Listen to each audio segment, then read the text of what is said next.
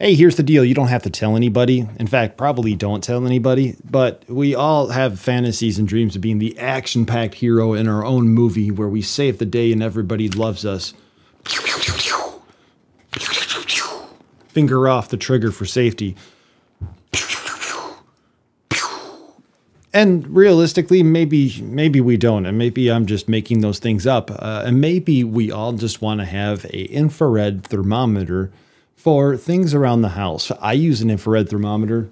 Currently, this Ames from Harbor Freight. Harbor Freight. Harbor Freight. I know it's Harbor Freight, but it is better to say Harbor Freight. Anyway, I use this one right now for things like my 3D printing bed, where I could check each corner of the bed to make sure that the bed is the same temperature and the heat is equally dissipated. So today we are going to basically take an overlook of the Apollo 7, a device sent to me by the Zbanx Corporation, and on their website it's currently $23.99.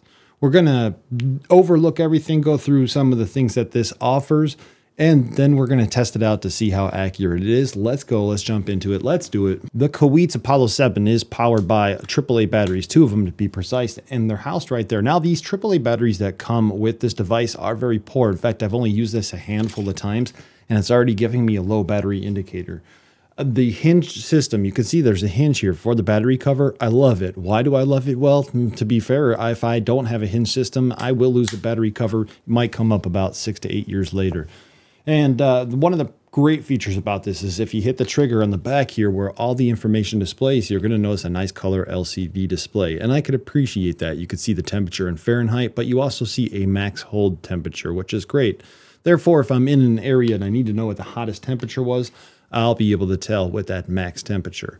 Uh, a couple other things I want to point out here is there's supposed to be an acceptable 2 degrees Celsius uh, difference in accuracy. So this could be accurate up to 2 degrees Celsius.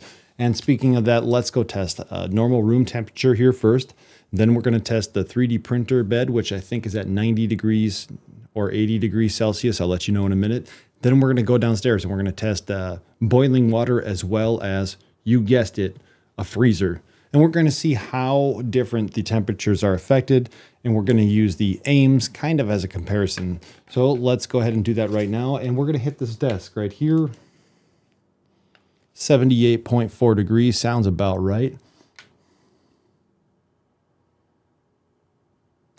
And I get 74.1 degrees, but let's switch both of these over to Celsius real quick. Well, the nice thing about the Apollo 7 is there's just a Celsius Fahrenheit button on the front here. And when I hit that, it should tell me, now I got to figure out on the Ames how to do that. I'll be right back. All right, I got it. I just hit the down arrow. 24.3 degrees, 23.2 degrees. So within that 2 degree Celsius accuracy, good to go on room temperature. Let's jump over to the 3D printer. Come on along, actually. All right, ladies and gentlemen, this here is the Ames infrared thermometer. You're inside of my 3D printer, and according to Klipper, which is the program where I'm monitoring the bed temperature, it's 90 degrees Celsius, and it's been steady that way for about 15 minutes. So when I go ahead now and I use the Ames toward the center of the 3D printer, bed says that it's 85.9 degrees Celsius. Let's check that one more time. And if we're going to try to be all cool and scientific, because that one says 85.5, we'll do it a third time. If you feel like it, you could take the, uh, what did they call it, the mean of those three temperatures and tell me. But it looks like my bed temperature is not quite 90 degrees like Klipper's reporting, or this one's inaccurate. So let's go ahead now and take the Apollo 7, put it down. And uh, one of the things I like about the Apollo 7 is like the Ames has one dot that shows you where you're pointing. This one has a circle full of dots. I'll see if I can get you a photo. But the first result shows us at 84.7, definitely within 2 degrees of the Ames Celsius. 84.48, still within 2 degrees Celsius of the Ames. And if we do a third reading here, I'm about 5 to 7 inches away. It looks like we're at 84.7 degrees Celsius again, so that's awesome. And if you uh, big brains out there were wondering, that's about 184 degrees Fahrenheit. Um, so, so far, it's pretty comparable to the Ames. Let's go ahead. We've already done room temperature. We've already done a heated 3D printer bed. Let's check boiling water and then let's check the freezer. I don't think my microphone's going to reach down that far.